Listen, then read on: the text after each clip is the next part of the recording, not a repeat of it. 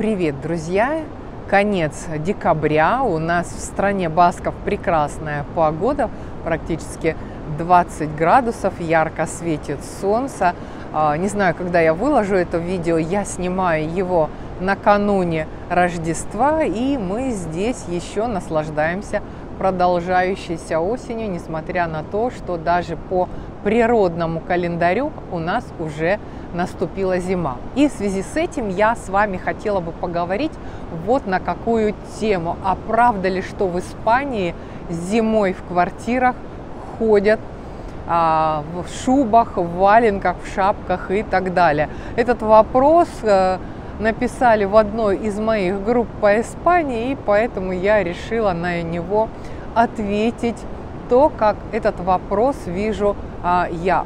А, правда в том, что в Испании нет центрального отопления такого, к которому мы привыкли в России, на Украине или кто там а, откуда приехал стран СНГ, а, где мы привыкли, да, центральное отопление, тетя, дядя за нас решает, какой температуре быть в нашей квартире.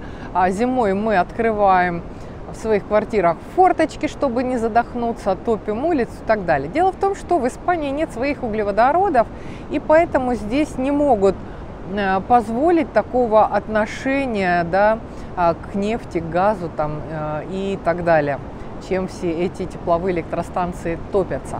Вот. И по большому счету э, центральное отопление, оно есть только вот в новых домах, и то не во всех, которые сейчас строят и проводят газовое отопление. Хотя при этом некоторые электрические компании умудряются проводить по телевидению антирекламу о том, что газ взрывается, это там опасно, газовое отопление полная фигня, платите за счет электричества. Вот такая у нас идет война между компаниями, которые занимаются а, предоставлением нам коммунальных услуг. Так ходим или не ходим мы в шубах э, в Испании зимой?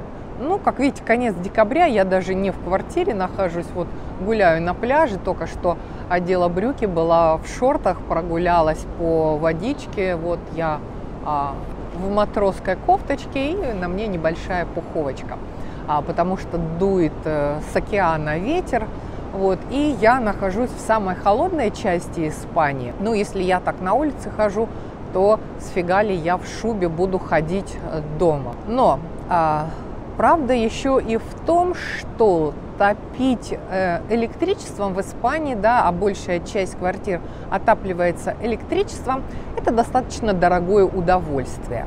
Но это все зависит от того, как вы к этому вопросу подготовились заранее э, летом, как вы выбирали квартиру.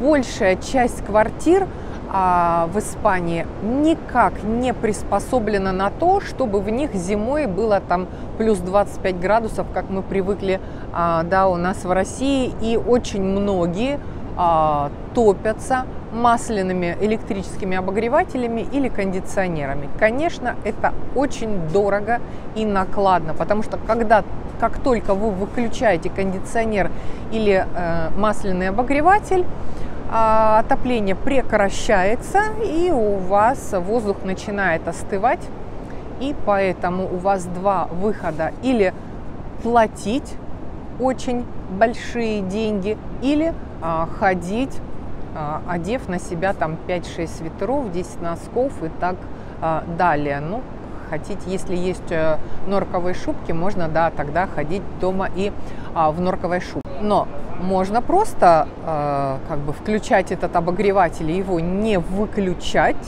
да, и тогда вы будете платить много. Сколько много? Конечно, это зависит от э, площади вашего жилья, от площади квартиры или от э, площади вашего э, дома. Кто-то там 70 евро в месяц платит, кто-то 400 евро в месяц платит. Как бы все зависит от площади жилья и от вашей зоны комфорта. Мне, например, некомфортно, когда в доме 20 градусов э, зимой. э, или там 25 градусов. Ну, днем я еще 20 градусов нормально потерплю, и в принципе, да. Моя зона комфорта дневного существования в квартире это 19 градусов. А моя зона, э, например, ночного комфорта для сна это 17,5 градусов, и тогда я сплю как младенец. Если же температура в спальне выше 18-19 градусов э, поднимается, а, я так не могу, я открываю окна и сплю тогда с открытыми окнами в течение зимы а, в том числе. Поэтому ходить или не ходить а, в шубах по квартире зависит, конечно, от вас и от вашего финансового состояния. Но как же не платить в Испании большие деньги за отопление? Да? Ну вот хочется жить нам в Испании, в том числе зимой, но не хочется а, платить за отопление в сотнях а, евро. Как уложиться, например, а, в 50-100 евро за отопление в месяц в Испании. А, когда вы подыскиваете себе квартиру, например, в аренду, да, начнем с аренды, поскольку тут вы привязаны к тому, что у вас дано, в отличие от покупки дома или квартиры, когда вы их можете на свой лад как бы переделать уже. Ну, во-первых, нужно смотреть, желательно, конечно, чтобы квартира имела не столь давний а, ремонт.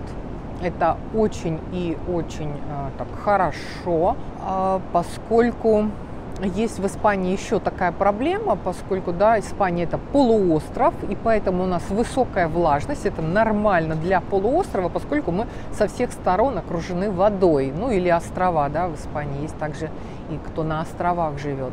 Поэтому то, что есть влажность, это нормально. Но не нужна влажность путать с сыростью в домах. Вот сырость в домах – это проблема. И э, когда подыскивать себе жилье в аренду, нужно как бы а, смотреть вот этот вот вопрос сырости очень внимательно. И тем более вопрос а, вот этого черного грибка, не знаю, как он там правильно называется, который поселяется на стенах. Поэтому, выбирая себе жилье в Испании, в первую очередь смотрите на а, оконные рамы, поскольку грибок в первую очередь поселяется на оконных рамах. Затем посмотрите на стены за мебелью, которая стоит впритык к стене. Это может быть диван, это может быть шкаф, я не знаю, что там еще, трильяж какой-нибудь и так далее. Отодвиньте мебель и посмотрите, чтобы стена была чистая и белая, потому что грибок начинается обычно оттуда. Ну и, конечно же, запах, да, там, где много грибка, вы это еще можете почувствовать по а, запаху. Вот. А, второй момент, который вы, на который вы должны обратить внимание, выбирая себе а, в аренду жилье в Испании, это какое отопление. А вот эти вот самые популярные масляные батареи электрические, они самые, это самый дорогой способ топить зимой, так же как и кондиционер. Потому что, еще раз повторюсь, когда вы выключаете масляный аккумулятор, он очень быстро остывает, и у вас остывает и воздух в комнате, особенно если рамы еще плохие. Да, кстати, на рамы тоже нужно смотреть, чтобы они а, рамы были хорошие, плотные, не было в них щелей. Потому что, опять же, полуостров, очень много ветров, и э, если слабые рамы, то тепло у вас будет выдуваться. Да, это надо смотреть, это ваша жизнь, и такие бытовые вопросы на эти бытовые мелочи обязательно нужно обращать внимание. Вот второй вопрос. Как топится, да, какая система отопления в данной квартире? А, я в Испании жила в разных квартирах и домах с разными типами отопления. Вот хочу сказать, что самая теплая у меня была квартира, это вот в Андарибии, где я прошлую а, зиму зимовала, да, я там прожила осень, зима, весна, весь период отопления. И я на отопление в среднем тратила в месяц 20 евро. Это и отопление, и горячая вода. Дело в том, что во всем доме была проведена центральная система для этого дома а, теплых полов за счет горячей воды. Трубы проложенные да, там под э, покрытием напольным было, и э, включаешь теплый пол, и за счет горячая вода разбегается, и вот это самое правильное тепло, которое поднимается до одно, вот, плюс э, всегда можешь отрегулировать какой температуры. И мне это было удобно, поскольку, да, днем я люблю 19 градусов, чтобы было а, в комнате, а вот как раз, когда ложиться спать, мне нужно там 17-17 с половиной, а, то есть я его или полностью выключала, или а, снижала до этого уровня. Вот, это было и очень дешево, и а, достаточно комфортно. Это самая, еще раз повторюсь, это самая комфортная система, поскольку это равномерное тепло. Если же вы себе купили квартиру или дом, то вы, конечно же, можете сами себе организовать эту систему теплых полов и наслаждаться комфортным теплом. Если же вы а, в аренду, то понятно, что не станете вскрывать полы, да, и там электрические теплые полы делать, или там водяные и так далее. С какими еще системами отопления в Испании мне пришлось а, встречаться? Тоже очень комфортно, экономно. Это электрические а, аккумулирующие батареи. А, чем они удобны? Вот тем, что они тепло аккумулируют. Я не знаю, как они там внутри устроены, но а, весили эти батареи по 100 килограмм где-то, да, они вешаются на стену и включаются в розетку электричества.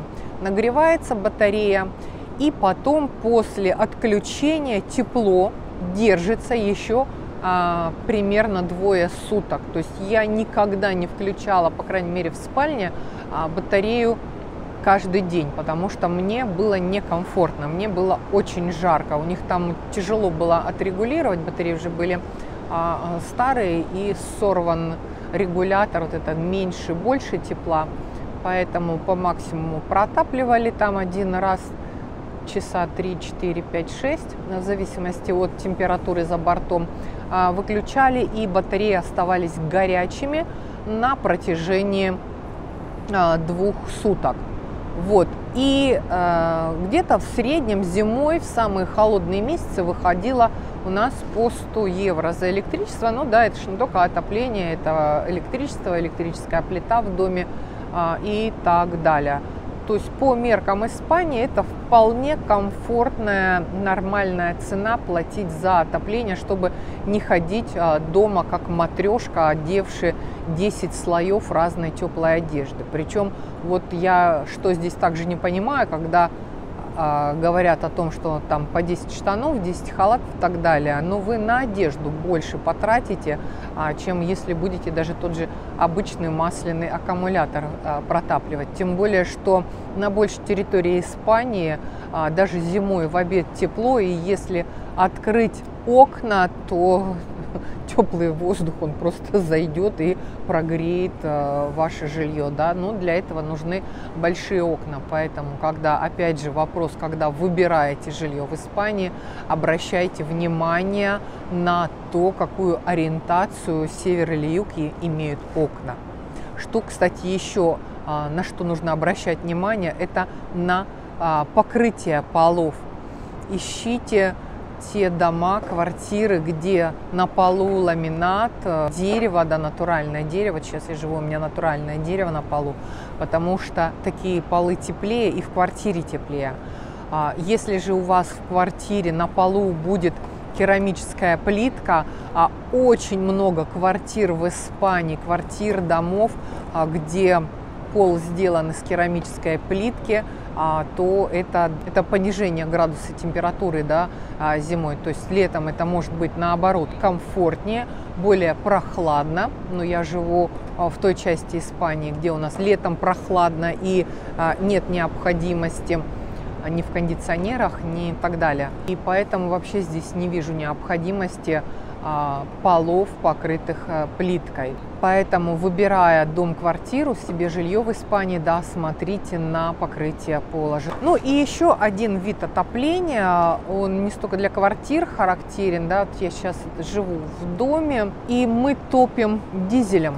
Это тоже очень дешевая и хорошая система отопления, то есть у нас по всей квартире стоят обычные алюминиевые батареи, хотя я бы, например, предпочла, чтобы они были чугунные. Но в Испании чугунные батареи – это большая редкость. А если у вас свой дом, то можно, в принципе, разориться. Если вы уж купили дом, да, можно разориться, поставить эти, а, провести водяную систему отопления у себя а, в доме, а, с чугунными батареями. И вода для батарей у нас э, нагревается за счет дизеля. Мы покупаем машину дизеля, ее хватает примерно на год, и э, стоит эта машина 400 евро. И вот этих 400 евро на год нам хватает на то, чтобы в доме было тепло. А в доме у нас тепло, поскольку мой Баск любит потеплее.